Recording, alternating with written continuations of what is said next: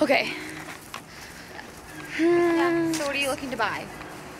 You should get Shoes. Some, some boots that like come all the way up to your thighs. Yes. Yeah. I like that. See thigh boots. Yeah. Totally.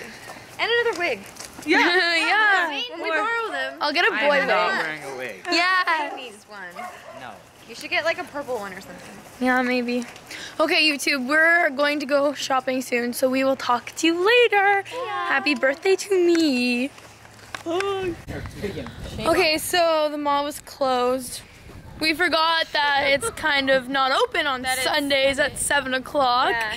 So, So, How many times do we do this? I actually do this a lot. I think it's because we skip school so much we forget what day of the week it is. Yeah. We go. And we're just always out and doing stuff that we don't even Yeah. think that it's not going to and be it's open. right out for this time of year that Yeah. I think it would be seven.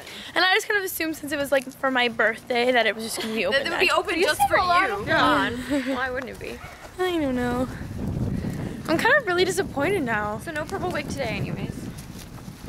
One day. Yeah. it'll It's happen. not like we're like a rainbow. Our We should go tomorrow. Let's just not go. Our wigs are like rainbow. Yeah. There's another great reason to skip school. Because the mall wasn't open yet. Always looking for a reason to skip. Oh, Always. Yeah.